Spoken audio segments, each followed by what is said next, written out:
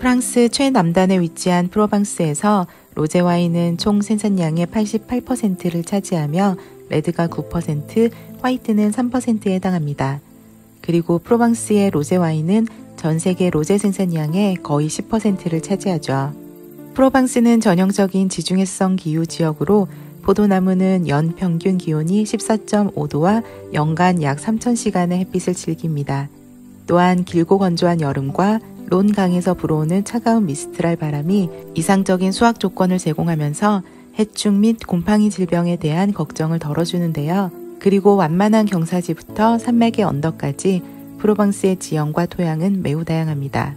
프로방스의 주요 적포도 품종은 그르나슈, 생소, 까리냥, 시라, 무르베드르, 까베르네 소비뇽 등 그리고 청포도 품종은 클레레트, 위니 블랑, 세미용과 롤 등입니다. 프로방스에는 9개 AOC 와인 생산 지역이 있으며 현재 총 생산량의 20%를 조금 넘는 수준이지만 점차 늘고 있습니다.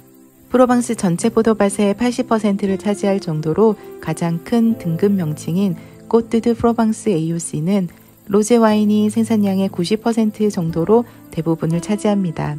프로방스 서부는 두 번째로 큰 지역인 꼬또 덱상 프로방스 AOC가 지배하고 있으며 미스트랄의 영향을 많이 받습니다. 그리고 서쪽 끝에 레 보 드 프로방스 AOC는 주로 레드와인을 생산함으로써 차별화되죠.